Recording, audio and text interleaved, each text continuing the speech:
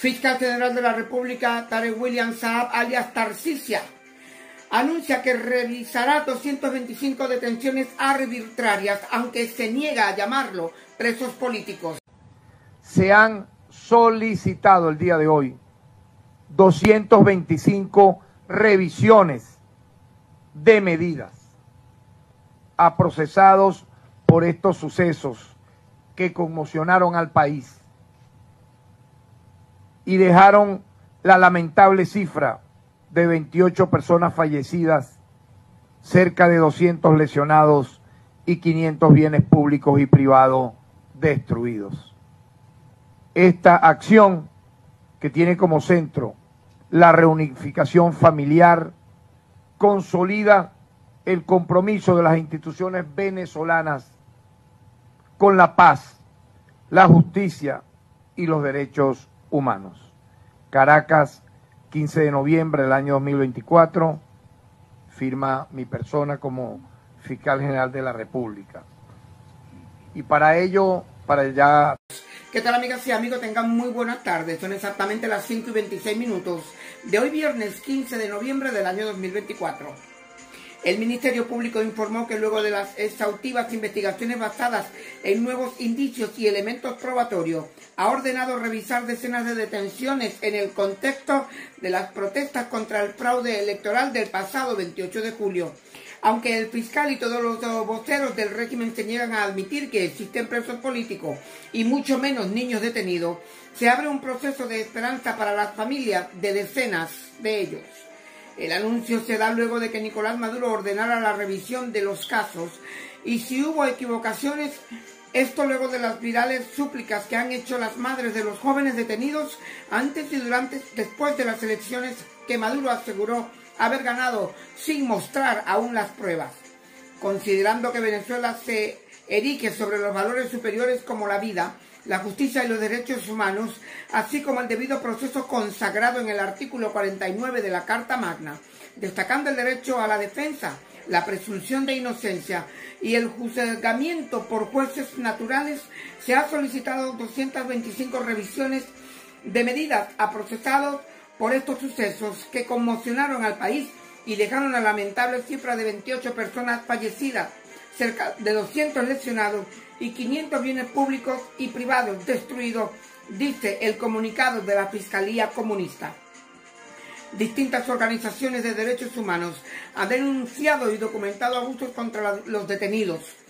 En el caso más reciente, un testigo electoral de Anzuategui detenido de manera arbitraria el pasado 29 de julio falleció por no recibir los tratamientos médicos a pesar de su gravedad y su evidente condición de deterioro. Jesús Manuel Martínez Medina fue detenido en el municipio Aragua del estado de Anzoátegui un día después de las elecciones del pasado 28 de julio. Había sido testigo de mesa electoral por parte del equipo del candidato de Mundo González Urrutia y uno de los colaboradores en resguardar las actas que, que, que comprobarían el triunfo de la oposición y la elección del presidente El Mundo González Urrutia. Ahora sí van a revisar casos. Ahora sí quieren como que intentar enmendar las cagadas y las arbitrariedades que se han cometido como asesinatos.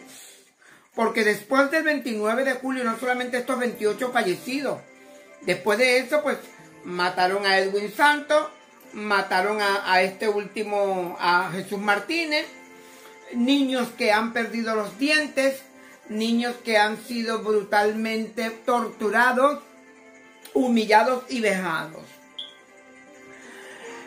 Yo, sinceramente, Tarcisia, no sé qué vas a hacer con tu vida.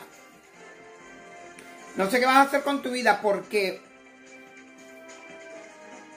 los venezolanos hemos estado, tenemos ya casi, bueno, 25 años aguantando este comunismo, 25 años aguantando este desastre, este deterioro de los principios, la, moral, los valores, 25 años donde se ha deteriorado la educación, 25 años donde lo que han hecho es robar y robar y robar, delinquir, delinquir, eh, tener conexiones con grupos terroristas como la FARC, el ELN, el ELN, Hezbollah, Hamas.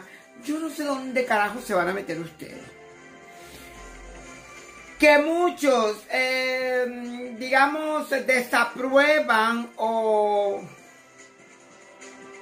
no están de acuerdo con, con eh, digamos, las aspiraciones de algunos venezolanos, no de algunos, de millones, porque vamos a estar claros. Muchos de los que están, me están viendo ahora y están ahí dentro en Venezuela, están claros que quieren que a Maduro le caigan a plomo y que a Maduro lo saquen a plomo, vivo o muerto.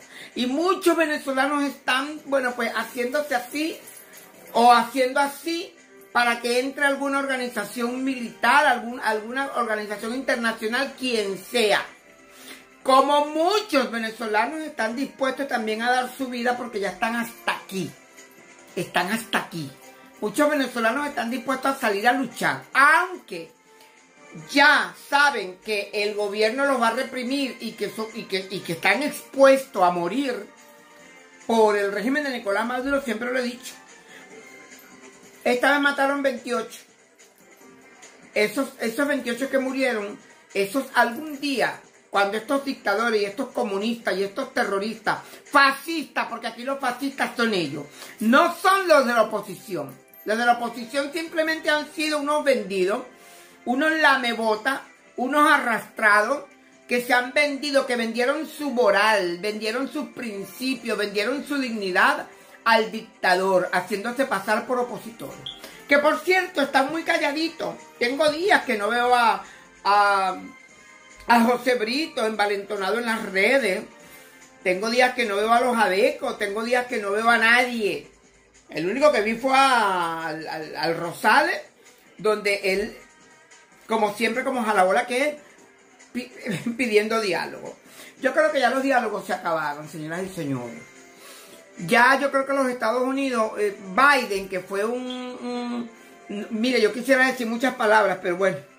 Biden, que fue lo peor, la basura, la rata de cañería más rata, se encargó de, dejar, de dejarse meter el dedo por Maduro hasta, hasta, hasta, bueno, pues, hasta el intestino grueso. Entonces, bueno, ganó eh, Rubio, secretario de Estado. Rita Scott, bueno, no logró el, liderazgo del Senado de los Estados Unidos, pero eligieron a otro republicano bastante con la mano bien dura.